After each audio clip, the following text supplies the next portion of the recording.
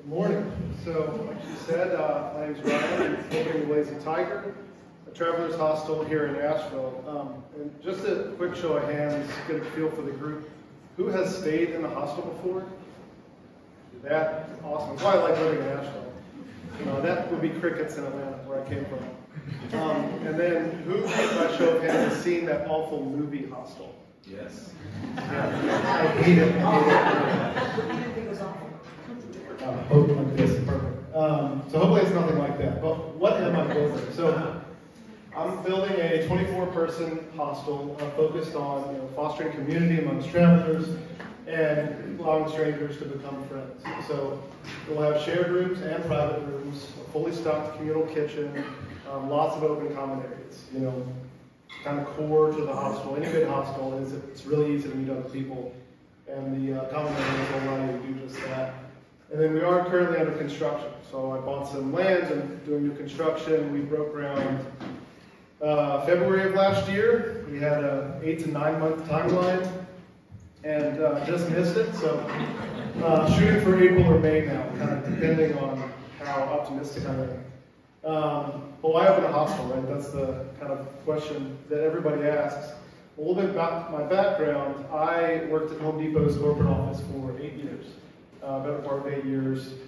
And I didn't hate the work. I didn't necessarily hate the company. I'm not an entrepreneur that just despised having a boss. Um, I had two main problems. So the travel bug had bit me hard by then, um, and I saw our vacation policy, and those things just didn't align. Um, and then I had you know, trouble feeling like I was making an impact at a company that large. You know, it's an $80 billion company, and I would have a project that save a million dollars, and it felt kind of like a rounding error. So I didn't know what I wanted to do for the rest of my life, rest of my career. I just knew it wasn't that. Then the problem becomes, well, what do you do? How do you figure that out, right, at 30? I decided to go figure it out in South America. So I took a leave of absence from work. Uh, they were really great about it, by the way. Uh, and bought a one-way ticket to Santiago. And you know, I won't talk about the trip in detail here a lot, but suffice to say, it was incredible, right? I hit five countries over nine months, saw every landscape you could possibly imagine. Um, I really just put these pictures up here so you think I'm cool. I hope it's working. Um, but more importantly, I stayed in a bunch of hostels, right? I was traveling alone in Spanish-speaking countries, and it would have been really easy for me to get homesick, for me to get lonely. You know, I'm someone that craves connection, so um, the hostels really, you know, those common areas were a game changer for me. Um, and there was one in particular in Pucón, which is uh, kind of an, an, adventure town in Chile that that pushed me over the edge. So you know, the second you check in, they had a great tour. They they had connections to all the guides in town. Um, you know, big, nice common area, this bar that overlooked the lake here. Um, really easy to meet people, and I realized that it was easier for me. You know, I had a better time in Pucón just because of where I stayed than if I would have stayed somewhere else. Um, and I decided that's the, the feeling that's, that I wanted to deliver to others. I wanted to, you know, change travelers' trips. Um, I didn't know what that exactly looked like, but from there, I started taking notes. So every single hostel I was in, I decided what I liked, what I didn't like. And Lazy Tiger is my attempt at combining all those features. So how does the business work? Um, it's fair, like how do you make money selling bumps to hippies? Um, so we'll have bunks and private rooms. Um, the prices are up there. We do have one ADA compliant private room with its own bathroom. Um, so we'll charge a bit more for that. Distribution wise, we'll be listed on Airbnb, on Hostel World, and take bookings through our own website. Um, you know, ideally, we'll get as many bookings as we can through our own website as other sites charge a healthy commission, but um, you know, when I first start off, it's really helpful to get extra eyeballs on it. Then the ideal customer, you know, if you ask me right now, my ideal customer is anybody over 18 with a functioning credit card. But, you know, I think they'll generally classify as, uh, you know, adventure seekers, right? Hikers, bikers, kayakers, musicians and artists coming into town. Um, but more generally, people who just would rather spend money on experiences or memories um, rather than an expensive hotel room. Location-wise, we are here, uh, 104 Weaverville Road, so it's kind of a straight shot uh, out north from downtown. Um, we sit on about a half acre, so I do think this location will be kind of the best of both worlds. Where, you know, if you want to chill and hang out, we'll have a quarter acre of green space. And backs up to a, a very small creek. It's a creek. Um, we'll have some hammocks out there. We'll have a good place to chill and just get some sun. But you're also close enough into town where you can pop off to anything you want to be. We're really close to the new whitewater wave that's going on in Woodfin. If you don't know about that, they're building a surfing wave in the French Broad. It's ridiculous, but I think it's going to be great. And, and we're the closest to that, you know, all close to breweries, River Arts District, really close to the highway, so you can get to hiking destinations really easily. Um, so I think the, the location will work out well. And then, you know, what will lead to our success? I think I'm going to try and get really good at these three things. And if I can, if I can nail these, then I think it'll be successful. So, you know, from a community piece, it's all about removing barriers, make it really easy to meet people.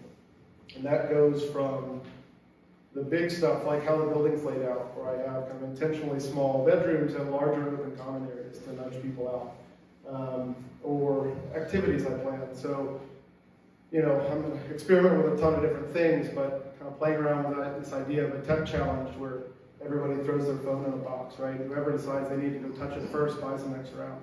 There's little things to kind of encourage people to be more present. You know, from a convenience piece, it's just, I want to make it as easy as possible for somebody to have fun while they're here. So, um, you know, I don't want people to spend time planning or Googling. I want them to spend time doing and having fun. So we'll have, um, you know, we'll have custom hiking, biking, and kayaking recommendations. You know, we'll, we'll do the curating of the thousand options on AllTrails and get it down to 10 and say, hey, here are things we can vouch for. Go have fun. We'll sell local beer on site, so you can sample a few before you decide what brewery you want to go out to the next day. Right? We'll have kayaking and biking storage on site. and We'll have discounts for local vendors and all these things. Just make it really easy, really effortless to have fun.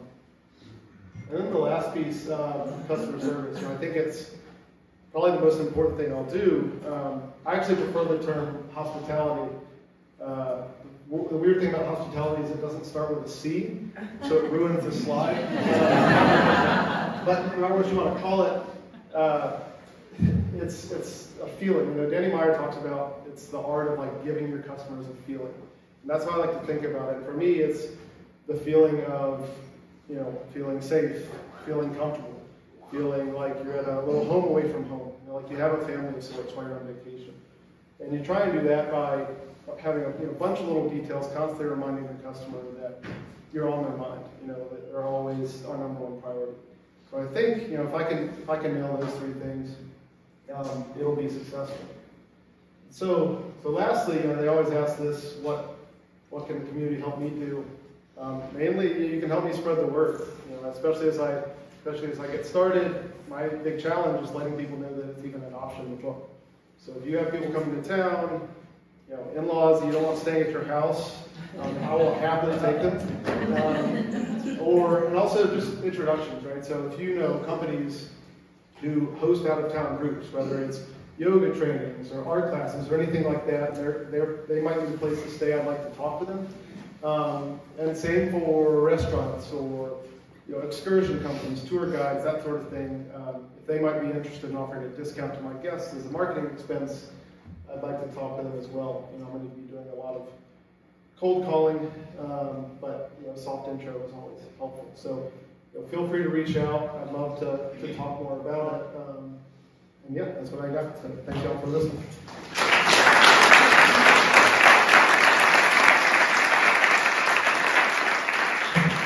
Okay, questions from the group? Questions? How do you get a shirt?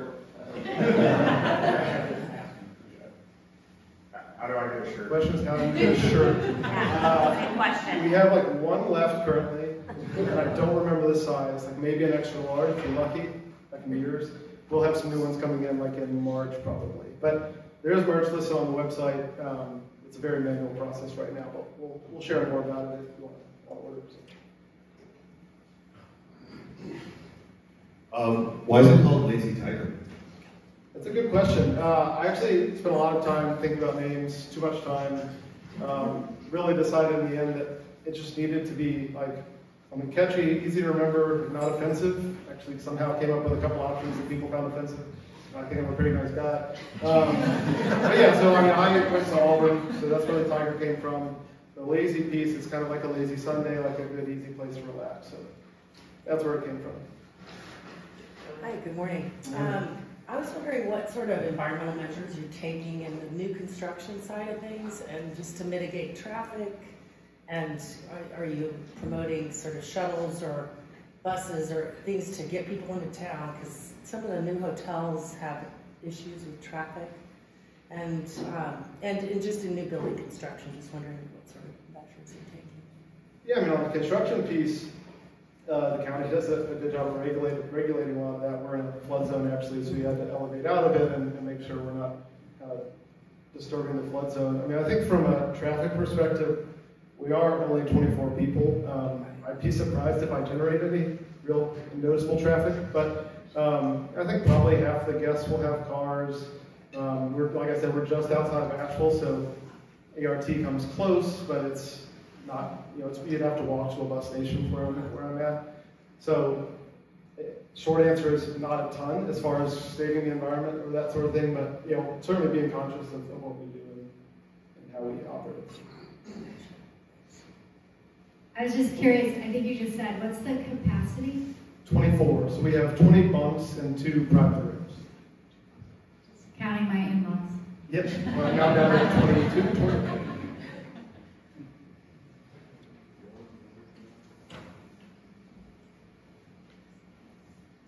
Um, I actually am here in Asheville because of an experience I had at a hostel.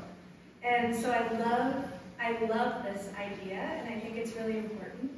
Um, when I had just graduated from college, I didn't have, you know, enough funds to stay at like an Airbnb or a hotel or anything like that. But I could stay downtown at Sweet Peas and explore the city and decide whether or not I wanted to move here. Um, and Asheville doesn't have enough of that, I think. So I'm really excited about your business model. And I don't have any questions. I just wanted to share that. Yeah, thank you. Um, I agree with you. I think it's great. Uh, I actually, you know, before I settled on this location, I was looking at the city limits of Asheville, um, and I was kind of having to play mini lobbyist for a while. Zoning's a bit more complicated there, and um, I actually met with, with Julie Mayfield at one point, and you know, she talked about the one worry she has is Asheville becoming you know, not accessible to all different types of tourists, right? It's if all we have is $400 a night hotel rooms, and they're going to stay that expensive if we stop building them, then um, you know that we might start boxing people out. So I think giving people, you know, tourism's not going to slow down in my opinion. I think that's a losing battle to fight. Um, but at least allowing it to be open to many different types of people to come check out the place where we live. So. How did you come to those rates, Ryan? Uh, kind of just rolling the dice, picking numbers out of a box. No, I mean it's it's it's what I've paid before at other places. It's similar to what other hostels are charging around town, and that'll be really flexible. I mean, a you know the numbers had to work, right? So I have financial projections and all that, and I need to be able to make money. But um, you know, I'll probably charge less midweek than I will on a weekend, or give discounts out, that sort of thing. Cool. Do you have signage up on the location? And I, I ask this because I've actually, I know where exactly this is and I've driven by it and been like, what is that going up there? And just thinking, if, if you do, maybe it needs to be bigger, or maybe it's gone up recently, but just thinking from the standpoint of getting the word out, um, you know, you'll get inbounds of people being like, what's going on here, you know, if, if you have it up there, if you don't already. Yeah, thank you. I, I have a, a flag sign, very generic, that says hostile. Um, and depending on which way the wind blows, it's actually very readable or not readable at all. We are working on a more permanent sign, but yeah, thank you. It's a good idea. I had a question about. You're talking about the 24 rooms, uh, two of them are private rooms.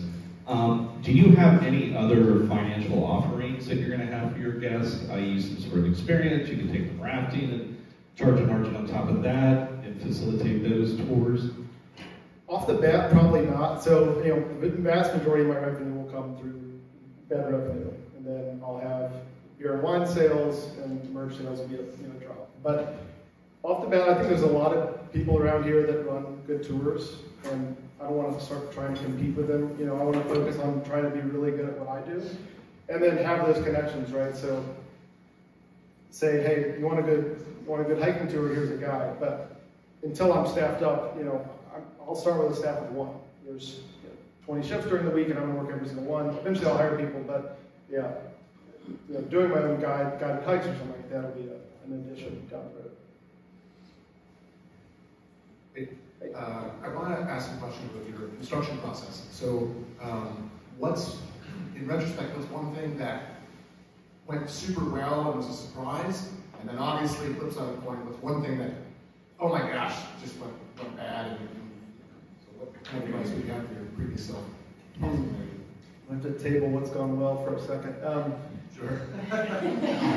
So I don't know, I have a, I have a really good builder who I like a lot. Um, it took me a while to settle on one who would you know, take the time to give me a reasonable quote and that kind of thing, but him and I work really well together. Um, I quoted this out the last time at uh, November of 2021 when prices were at its peak. So some of those have come down, some have continued to soar. Um, but yeah, I mean, really the, the hardest thing right now is just cost.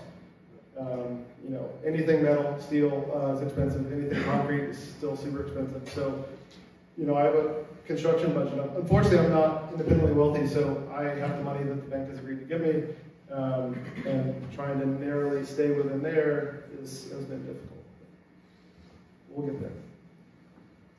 So your communal space, is there room to do like a yoga class or do meetings in that communal space? So when you bring, when you said with companies and different people coming, would they rent that also to do meetings? No. Um, so I might have events, uh, kind of off-schedule events for, for locals, um, but it's, I don't only have 15, 16 parking spots, so it's not going to be a great space to kind of merge locals and travelers, unfortunately, on site. I guess what I meant by um, people who bring in out of towners is if they if they have the space, right, if they're teaching the class, but they, their guests need somewhere to stay, and just making that connection. Yeah.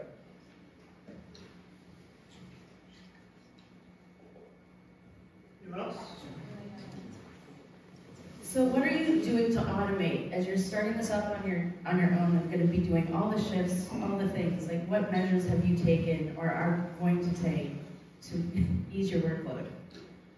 Yeah, it's a good question. I mean, from a software side, you know, there's property management software kind of designed for hostels that'll handle a lot of the booking and sending out emails or reminders and, and check-in minutes and that sort of thing. Um, and then really, it's about process. I mean, a lot of the work I'll be doing is really hands-on, and so why I'm hesitant to hire somebody right off the bat is I want to get it really right, uh, and that will be a, an issue of mine is giving up control. But so really documenting exactly what I want to do, how I want to do it, so I can easily when I hire somebody say, hey, here's what I you know, train them up and, and get it done right.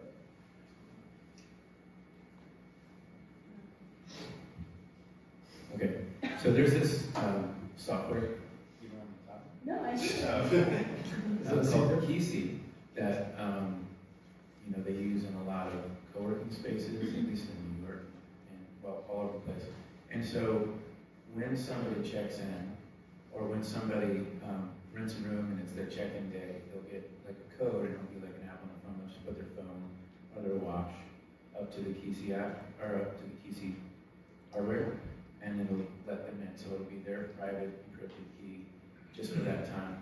Um, have you looked into any like key stuff like that? That way you don't have to always be on site.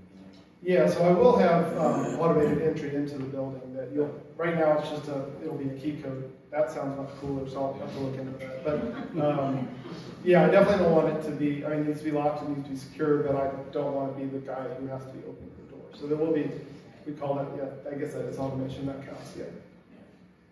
Uh, in my early years in life here, I was a uh, front office manager at uh, a few hotels. Uh, hospitality sucks. Are you looking for a job? I'm not. All right now, maybe. We'll see what happens. We're driving in, all techs getting laid off. We'll see what happens. We have Wi-Fi. Yeah. Um, so there's a lot to consider, especially with those bigger properties. You know, uh, like standard operating procedures, and you know what are your standards. And you know, we've had to kick people out of rooms before. I'm curious if you have like a, a list of things that would get someone kicked out of your hostel, or not. I don't. Actually, I like to kind of think about putting my head in the sand and not thinking about the bad guests. It's much more fun to think about the, the fun ones. Um, I mean, I will come up with a list, I imagine, but it'll, you know, it'll be, as long as you're treating people with respect, uh, you can stay. As long as you start making people feel unsafe, then you have to go. Um, it's kind of the viewpoint how I think about it, but we'll see. The first one will happen at some point, right? I don't go over. Um, with the, uh, so you can be connecting people to, you know, like, um, activity companies, things like that. Will you have some type of revenue share with them, you think? Will you be able to get some portion of that? Off the bat, I just want to pass that discount on to the customer. I want it to be a perk of booking with me. We'll see what it looks like, and if it's really lucrative, then, then maybe I go back and, and negotiate that. But, you know, I, I want it to be, hey, I could stay at a random Airbnb and have a bed, or I could stay at the Lazy Tiger and have, you know, get these extra perks as well. So it'll be just a feature I offer. When you were staying at the hostel in South America, how long were you there at that one hostel? That stay, I was there for four days. So, you know, most stays would be between four days a week, something like that. Okay, so that's that's average for hospitals like one one day to a week. Yeah, I mean, the, the model down there is a bit different too. You know, it's a lot of people like me who are on longer trips. Um, I think maybe I'll have some of that, but mine will also be more kind of one-off stays. Um, I will have a max day of 14 days, um, just to be on the safe side of not wanting to get into landlord tenant laws and things like that. You know, I don't, you know, I'm, I'm not a housing organization, right? So um, uh, there will be a cap at that, but most people will stay a lot less. You mentioned that you took out a, and you're trying to work in that kind of budget. There is no more pressure, I think, as an entrepreneur, when you mortgage your house or out a bank loan to run your business. At what point did you come to say, I'm all in, full send, and I've got the confidence to do that? Because that's a huge leap. Yeah, it is a huge leap. Um, full confidence, I'm not sure I'm there yet, but I'm definitely all in. Uh, I signed, signed everything that the bank tells me to. Um, yeah, I don't know. I, I was just so sure that what I was trying to do just wasn't going to work, right? Um, I think probably when I quit my job, I had a really nice salary, and all of a sudden went away. Like that had to, like, that was like, all right, this is happening. Um, I moved up here, and it became more concrete. You know, I think I started working on this in 20. I mean, I was traveling in 2017, so it's been better part of four or five years that this has been um, this has been an idea. And I've been talking about it for so long. I think some of my friends back home are like, this guy? Is this guy doing it? Is he really opening it?" Now I have half of the building to show him, so it's happening. But, um, yeah, it's a big leap for sure. Uh, so when I was younger, I did a lot of traveling in Central America, South America, stayed in a lot of hospitals. Um, at this point, I remember a few fondly based on like how they were unique compared to others. Uh, for example, a place in Honduras, your stay there included free bicycles, guitars, there was a fire every night. Um, I'm curious what you are doing or going to do to make yours like unique compared to like your competitors and why somebody would choose uh, your hospital over somebody else's. Yeah, I think I'm going to try a lot of different things. Um, I have some, you know, smaller ideas, right? So, little things from, you know, asking when you book, like, are you celebrating anything? And then when you check in, have a small gift for them, or you go up to your bed and there's going to be a little fortune cookie on the pillow instead of a little chocolate mint. Um, but really, it's just I'm going to try and exceed expectations, right? I want people to leave and they get they get home and they get asked you know, how was your trip to Asheville? I don't really want them saying like the Biltmore was cool. And I think Biltmore is cool, but I want them to be like, yeah, I stayed at this hostel, it was really neat, and you won't believe what they did.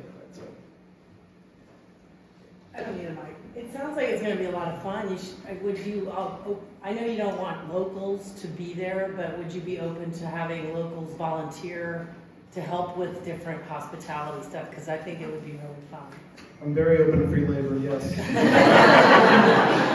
we, should, we should connect. Uh, yeah, we'll generally not have locals. Um, that's a you know policy most places have. Uh, that will be up to manager discretion. So um, that policy can be waived if needed. But uh, but yeah, I will have certainly open volunteers. A lot of that in the hospital world looks like work stays. So you know you exchange for three shifts a week, you get a free bunk for people that are kind of traveling along. So I'll have some of that as long, as well as like actual employees, um, who get paid. So. Yeah, that's right. Hey Ryan, so the big hotel brands, they all have the rewards programs, the loyalty program. Is there a loyalty program for like all hostels? Like, are you guys in one big group? There's not, uh, that I'm aware of. It's, it's not a bad idea. I think what's in, what's missing is the, um, somebody to take the lead into it. You know, I will have a, I don't know exactly how it looks like, but have a referral program just for myself. So you refer five guests, you get a night free, something like that. Um, but I think it would be cool to say, hey, yeah, you stayed at eight places up the East Coast, and we'll get some benefit from all of us. But it's not there yet. Thanks. I too spent a good portion of my youth traveling all over Europe in hostels, and uh, one of the things I thought was very cool was we, when we had our eye on a specific hostel and they were full, they would have, they would know exactly who else close by had a similar vibe and had beds available. Um, I don't know, I think there's one other hostel in Asheville right now. Is that something you guys will collaborate on? And so it's such a nice hospitality. Yeah, there's so there's two in town. There's uh, Sweet Peas downtown and Bon Paul and Sharky's over in West Asheville. And I, yeah, if I'm full, I will happily send them to either of those places. I've stayed at both, um, very nice spots. You know, my plan does not involve either of them going out of business. I think there's lots of lots of room to go work to go around. So we'll happily uh, work with it. Are you in a hostel network, like, uh, like nationally or inter, um, internationally? Is there like a network of hostels that, So you mean like kind like, of a like a map or, you know, if you go to Abingdon and then they, you're coming to Asheville and you're staying at a hostel up there, you're like, hey, is there one in Asheville you would recommend? So, It's all very informal right now. Um, actually, 2019 there was a movement to kind of start one up. They had their own Slack channel, it's really fancy, and then it just kind of died with COVID. Um, I do have some relationships with other hostel owners. You know, you don't start a hostel owner generally if you're an asshole. So people have been really friendly and really helpful with their time. Um, uh, my friend Joe down in Greenville runs Modal, which is a hostel and coffee shop down there. Is a great hostel over in Chattanooga that's been super helpful to me. So I kind of know the ones around us. Um, but yeah, there could be could be work to do on, on making that a bit more official. Actually, stayed in a semi hostel in Abingdon a few what, a few months ago. was it good? Yeah, it's great. So when this one's successful, where's the next location gonna be? Uh, I don't know. Um, I've thought about either opening another hostel somewhere else um, or opening a different kind of lodging option here in Asheville. Um, I got to figure out how to make one successful first. I got enough on my plate. so.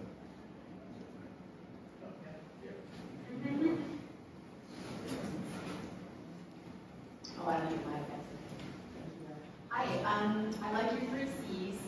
Um, you mentioned the community. Um, can you talk a little bit about that um, in terms of a differentiator amongst your peer set here? So how, how do you see generating community there and the kind of vibe you want to have relative to the other hospitals in town?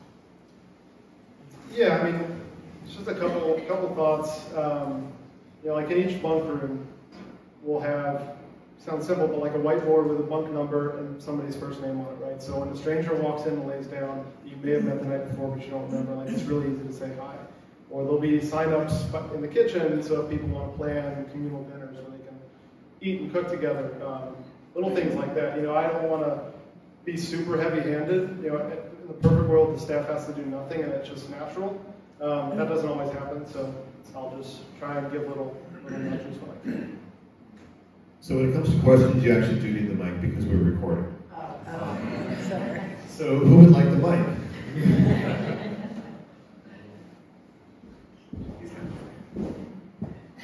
That's good. All right, cool. Um, so, as you know, reviews are gonna be really important, right, to get the word out to people who don't know you. So once you open it up, you want all your processes to be spot on, right? So what's your plan for getting those down, testing it out before you move into the public? Yeah, so I'll have uh, a soft launch where probably the first two weekends will be all friends and family. So uh, no matter how I screw up, they will definitely give me a good review. Be, they'll have to sign something. Um, and actually, a good thing I picked up. So I worked, uh, after I quit Home Depot, which is not that uh, relevant of experience for this, I moved up here and I worked at, at Abbington Green, which is a bed and breakfast here in town. Um, and one of the things they did that I like is, you know, as part of their thank you email when they were leaving, they took a brief kind of talk on did this person have a great stay or not. If they did, kind of send, you know, include in that in that email like, hey, here's a really easy way for to review. Um, and so, you know, you're not if somebody has a bad time, they're going to tell people about it. So you try and minimize that, but also it's like make it really easy for people to give reviews um, when you know they've had a great time. You mentioned earlier where um, I, I don't have experience with hostels and how to find them, but you said um, that you can advertise on Airbnb or wherever the platforms. How do you do? Is it like a whoever signs up first, or is there a discerning process where you've got like Airbnb, you know, you rate each other or whatever? Like how much control do you have over who comes to stay? Um, so it'll be booking, like you don't need confirmation from me before you book. I want that to be as seamless as possible. The property management software has a channel manager, so it manages your inventory for you. So, you know, when a bed gets booked on Airbnb, it gets removed from everywhere else, so you don't have to worry about overbooking. Um, and I suppose there's a way I can block customers if uh, I get a problematic one, but um, yeah, I don't want uh, people to have to reach out and ask, and then, you know, I want it to be as easy as possible for somebody to give me the money. So. Hey, Ryan. One love the business, how things you start talking about. But as you know, friends and family are notoriously difficult to get critical feedback from. So I think maybe you want to go with some professional associates from an informal setting. Maybe people that like coffee. Spin it. Yeah, starting soon, I will have, um, we'll lead some tours through the construction site, probably on Saturdays when nobody's working, but um, we'd like to open it up to locals so people can kind of see what's going on. Just have a question about your thinking around how you will deal with the local population who, for whom forty dollars a night is a very cheap bed. and Nothing else is available. Yeah, so I will require an out-of-area ID and a credit card in the name of whoever's booking. Um, it's a pretty common policy amongst hostels. It's, you know, I think the homeless population is unfortunate. It's just not the problem I'm trying to solve. Um, and it, you know, it can uh, dampen the vibe a little bit. Um, not to say that people from out of town can't be a problem too, but yeah, so it'll be, it'll be just an easy requirement. That's the way it's, you don't have to be rude about it. It's just that you need an out-of-area ID. Hey. I have a, a slight idea for you on the locals. Um, it sounds like there's a lot of buzz around either when I was a kid, I went, traveled, and lived in a, you know, stayed in a hostel, whatever. Um, for locals, what you could do is create a community around hostels of people that have traveled outside of this area. So if I'm looking to go to you know, Aberdeen, I think was mentioned, then you might have a list of people that have stayed at the Aberdeen hostel who I could then go stay at. So that's a, just a little bit of a nugget of an idea. So, sorry, clarify that for me. So the network is people in other parts of town. So as people come to your hostels, Yeah. They have traveled likely to other hostels, right? And so they could, you could then be a collection for, hey, I'm a local in Asheville, I want to travel to hostels.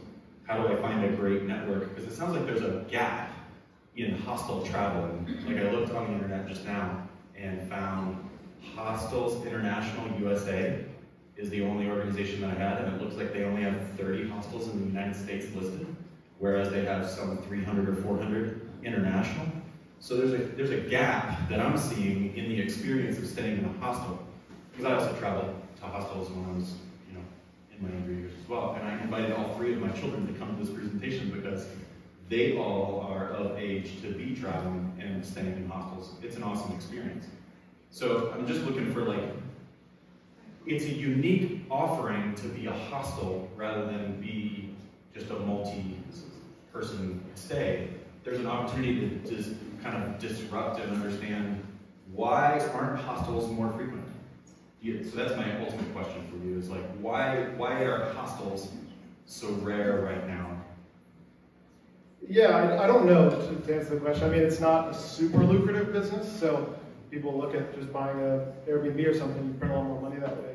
Um, but it, is odd the the kind of juxtaposition. You know, if you go to a hostel in Europe, you'll see plenty of Americans staying there, right? So it's not like Americans are afraid to stay in hostels. It's like they don't know it's an option, or or they just don't think about it when they're booking domestic travel. So I do think that's kind of the missing piece is raising awareness that it is an option. I'd like to layer on what that uh, very smart gentleman just started. Uh, I'm going to lay my next card on that journey that you're on. And what you mentioned is you know someone in Nashville? Uh, Greenville and, and Chattanooga. And Chattanooga. You have Western North Carolina in your in the palm of your hand. And the three of you who know each other could, and we have the Appalachian Trail, we have so many things, you could have through lines.